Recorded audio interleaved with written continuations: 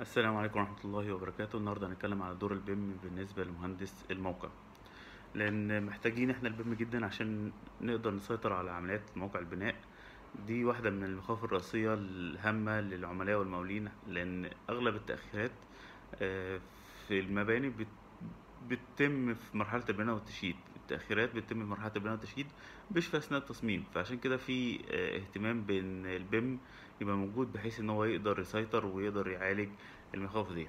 لأن ال- الرسومات ال- ثنائية الأبعاد وحتى ثلاثية الأبعاد مش كافية إلا لما يكون في جداول زمنية ومواصفات وفي معلومات وفي آه، تسميات ده بيقلل مجال الأخطاء. من خلال البيم بنقدر المصممين والمقاولين بيقدروا يعملوا تصور 4D لموقع البناء من خلال إن هو بيبدأ يربط الموديل ال 3D بقلب ال- الجدول الزمني المشروع عشان نقدر نحدد المشاكل دي ونقدر نتأكد من من المشاكل ونقدر نحدد آه، المشاكل الموجودة فين نقدر نشوفها. ممكن في الجدول الزمني في ال Primavera وال MS Project آه، كلام مرصوص فما تقدرش تاخد بالك أو تعرف فين المشكلة بالظبط. أهم المشاكل في أثناء التشييد عدم التخطيط الجيد عدم السيطرة على موقع البناء آه، في وقت بيضيع كتير جدا في انتظار إن المواد توصل أو إن التعليمات أو العمال الإضافيين يبقوا موجودين. مفيش مراقبة ومتابعة لسير العمل ومقارناته مع الحاجات المخططة. فعشان كده برز لينا آه، موضوع ال BIM. أنت عارف ال BIM آه، تعاون القائم على خلق القيمة خلال دورة حياة كاملة للأصل.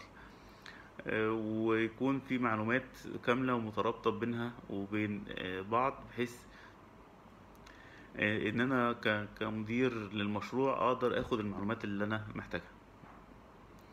ففي فوائد كتيرة جدا المقاولين بياخدوها بتشمل إن هو بيبني بتكلفة منخفضة آه، نتيجة إن مفيش إعادة للشغل مفيش ريبيلد ومدة المشروع بتقل تحسين السلامة في فوائد كتيرة زي آه، مراقبة أفضل التكلفة بنقلل الوقت آه، سير العمل.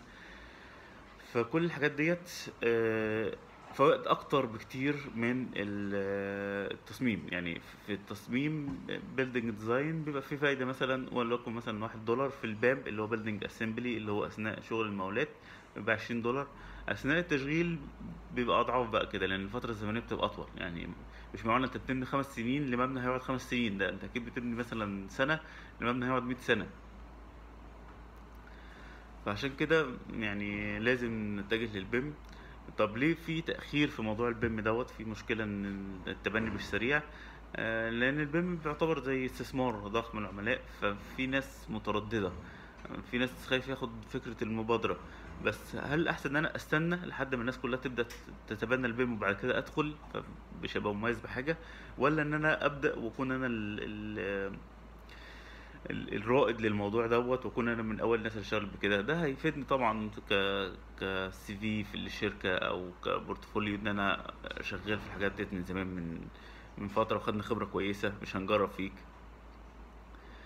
ففي يعني لما تيجي تشوف الفوائد وتشوف المبلغ اللي أنت هتدفعه أو الاستثمار اللي أنت هتدفعه هتلاقي إن هو مبلغ بسيط مقابل الحاجة اللي هتجيلك. ان ان لما هبدأ أربط ال- البيم بالبرامج إدارة البنى هتديني تفاصيل أكتر هتديني معلومات أكتر.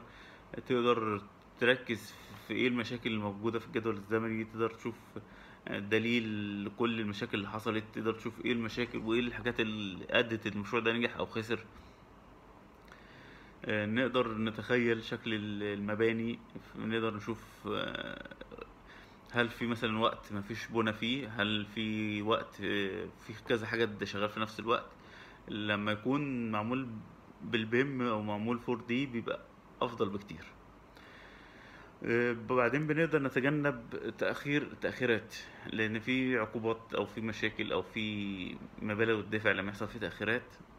فعشان كده من خلال ال BIM بنقدر نوفر الوقت بحيث إن التكلفة ما تزيدش. ونقدر نخلص المشروع من غير ما نقعد نقول نلوم بعض ونقول ده في إدارة سيئة في مشكلة في هنا في هنا. ف BIM بيديني حاجة إن أنا أطبق ال integrated project delivery ال IPD إن كل الناس تقدر توصل للمعلومة وكل الناس تقدر تتبادل المعلومة بسهولة جدا. مش كل واحد واخد ملفات أو بيبعتها لشخص واحد ويقول لك لا ما تبعتش لفلان أنا متضايق منه. ده بيحصل يقول لك إحنا عملنا اللوحة دي ابعتها للناس دول ما تبعتهاش لدول ما تبعتهاش لل لل ان الناس بتوع ال sustainability هيطلعوا لنا فيها عيوب. ما هو كده كده هيطلع لك عيوب في آخر المشروع هتضطر تعيد المشروع. فمحتاجين يكون في تنسيق فال BIM بيديني تنسيق تكون المعلومات كلها موجودة عند الناس كلها. وإن أي حد يقدر يوصل للمعلومات اللي هو محتاجها بالتفاصيل يعني ال MEP يقدر يشوف مثلا سكاشن ثلاثيه الإبعاد لل- للمعماري عامله فيقدر يتخيل هو بيفكر في إيه. فلما يكون في معلومة صحيحة ومفصلة ده هيسهل كتير جدا. إيه، لو أنا ما عنديش أي معلومة هنفتي وهتبقى في مشاكل. فعشان كده لازم يكون في التزام بإن إحنا نطور وإن إحنا نحسن طريقة التعامل مع مشاريع البناء. وفي عشان نعمل بيم كويس محتاجين تخطيط استخدام الموقع. ده البيم هيقدر يفيدك في الموضوع دوت. تحدد فين الحاجات اللي هتبقى مؤقتة وفي الحاجات اللي هتتجمع فيها الشغل في الحاجات اللي هتتجمع فيها المواد. آه، تخطيط للأمان وخطة إخلال الموقع لو حصل مشكلة. نجمع المعلومات بتاع كل الأقسام في مكان واحد. نقدر نتبادل بيه المعلومات. آه، نقدر نكتشف المشاكل اللي موجودة آه، من حيث الكلاشات وإحنا شغالين. نقدر نربط مع الجدول الزمني للتنفيذ. نقدر نشوف الاشتباكات الف- بخصوص الوقت يعني إن ممكن يكون في كذا حاجة شغالين في نفس الوقت. آه، ال BIM برضو بيقلل ال RFI request for information على أساس إن كل شوية تلاقي حاجة مش واضحة فتبعت آه، استفسار وتاخد section تبعت استفسار تستنى الرد آه، 20 يوم وتعمل claim والحاجات دي كلها بتخلي الوقت يطول أكتر. آه، برضو موضوع ال change order تقليل أوامر التغيير لأن آه، ان شاء الله ما يحصلش تعديلات كتير لو انت مشتغل بال BIM وشفت الكلاشات شفت الحاجات اللي المفروض تعدل اثناء التصميم مش اثناء التنفيذ. فعدد اوامر التغيير بيدل على كمية تعارضات وما دام كمية التعارضات والتضاربات قلت هيقل ال RFI إلا لو في حد عايز يرخم يعني مش هنقدر نتكلم معاه. هتقلل ال claim سواء المادية والزمنية على أساس إن الأخطاء قلت. هنقلل إعادة العمل آه، هنقدر نتحكم أكتر في ال fabrication والتصنيع المسبق. نقدر نستخدم بكفاءة الطاقة والاستدامة؟ نقدر نحدد تكلفة بقوة من قبل ما نبدأ شغل؟ آه، سهل جدا إن إحنا نعمل shop drawing وهتبقى قريبة قوي من المخططات بتاع ال design وقريبة من مخططات ال as-built الاختلافات متبقاش كتير. بنبقى عارفين المواصفات من قبل ما نبدأ. آم، عارفين إيه الحاجات مثلا السقالات مثلا والرفعات والشدات الخشبية اللي بتعمل مؤقتا وبتشال نقدر يبقى عندنا جرد صحيح للمستودعات. دي بعض فوائد ال BIM مش كل فوائد ال BIM فعشان كده بنحاول نهتم بنشر فكرة ال BIM و... وإن شاء الله تلاقوا كل المعلومات في مجلة BIM والسلام عليكم.